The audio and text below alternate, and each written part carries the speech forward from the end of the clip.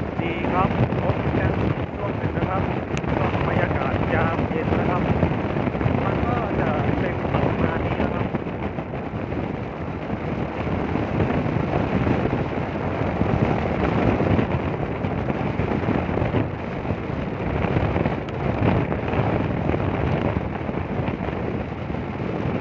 เราจะมุ่งหน้ากลับ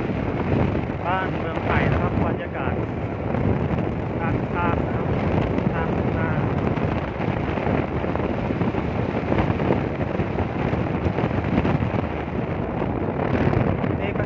ปั๊มน้ำมันนะครับ